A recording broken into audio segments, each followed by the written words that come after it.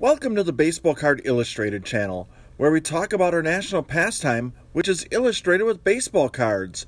And this is Through the Mail Thursday, where we take cards we pull of our cardboard heroes on the big show and send them out to our favorite baseball players, hoping to get them back with an autograph. I'm Bronko, the PSA 11, and I'm pleased to announce that Kevin, the Diamond King, and I got envelopes back from five Count them five athletes in the past week. Knuckleballer Charlie Hough posted 216 wins in his career, a total that ties for 86th on the all time list and matches the legendary Wilbur Cooper as well as a guy named Curt Schilling. Hough learned to throw the knuckleball in 1970 after three mostly unsuccessful seasons in the minors. He would make his big league debut later that year. Mostly remembered as a starting pitcher, he actually made just one start in his first nine seasons in the majors and was not a rotation fixture until 1982. He spent 11 years with Texas and won 139 games for the Rangers.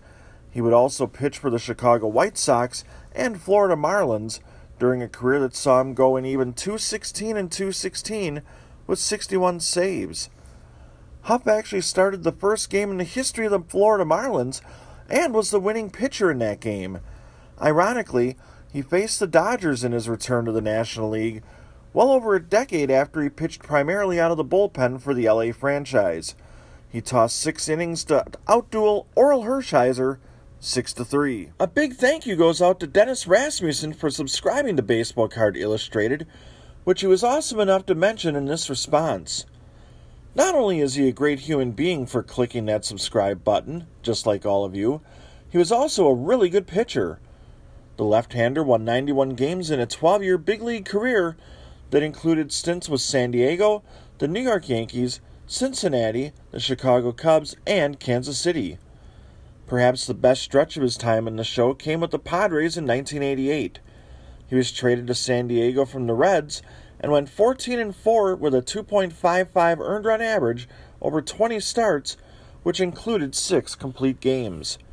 These days, according to Wikipedia, Rasmussen operates the family business, the Charlevoix Dairy Grill, located in a town I clearly cannot pronounce in Michigan.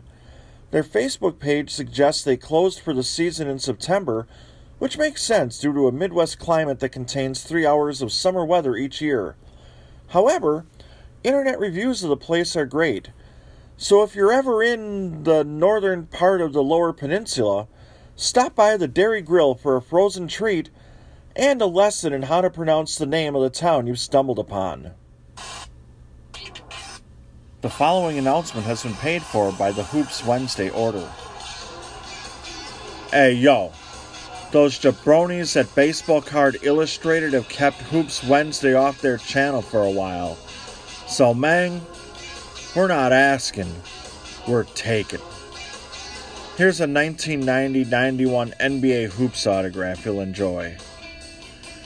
Josip Peruzovic, better known as Nikolai Volkov, was a Croatian American wrestler who originated from Yugoslavia. He is probably best known for pairing up with the Iron Sheik. Under the tutelage of manager Classy Freddie Blassie, the duo won the tag team titles from the U.S. Express at the very first WrestleMania. Volkov is remembered for singing the Soviet national anthem prior to his matches, and he also feuded with WWF champions Bruno Sammartino and Hulk Hogan in singles competition. Later on, he would team up with Boris Zhukov to form the Bolsheviks. Wait, this is Alexander Volkov, who is commonly known as Sasha Volkov. He was the second player from the Soviet Union selected in the NBA draft, taken by the Atlanta Hawks in the sixth round of the 1986 draft. He would play 149 career games in the association, averaging 6.8 points and 2.6 rebounds per game. He would ultimately play professionally for 20 years, being selected as the most valuable player in 1989 in the USSR. After his hoops career, he was elected to the Ukrainian parliament. The preceding announcement was paid for by the Hoops Wednesday order. It's been an interesting run for Ruben Amaro Jr., who played eight big league seasons, has filled a wide variety of other roles within the game, and even has some acting credits on his resume.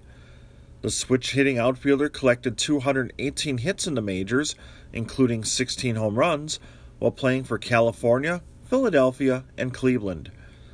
As impressive as his accomplishments on the diamond, what he has done in other roles is also noteworthy. The son of a former major league player, Amaro first wore an authentic jersey as a bat boy for the Phillies from 1980 to 1983. Following his playing career, he immediately moved into a front office position with the Phillies as an assistant general manager. He was promoted to GM in late 2008 and guided the defending World Series champions back to the Fall Classic in his first year in his new job. Philly would go on to claim the NL East titles in 2010 and 2011. Known for building starting pitching rotations with star power, including the Fantastic Four, Amaro also earned a reputation for paying star money to players on the downside of their careers, such as the long term extension for Ryan Howard. After leaving Philadelphia, Amaro served as a first base coach for Boston and the New York Mets, was a special assistant to the GM with the Mets, and, most recently, spent the 2020 season working as a pre and post game analyst for Phillies TV broadcasts. Interestingly enough, Amaro is portrayed as a teenager on one of my favorite shows, The Goldbergs, because he attended the same high school as show producer Adam F. Goldberg. Amaro has actually acted in two episodes on the series, playing the role of his father. Joe Skalski was a right handed pitcher who appeared in two games for the Cleveland Indians. While his major league career was a bit on the short side, he is a member of the St. Xavier Athletic Hall of Fame, inducted in 2016. He helped the Cougars win the 1985 Chicagoland Collegiate Athletic Conference regular season title and the team took second in the league in both 1984 and 1986.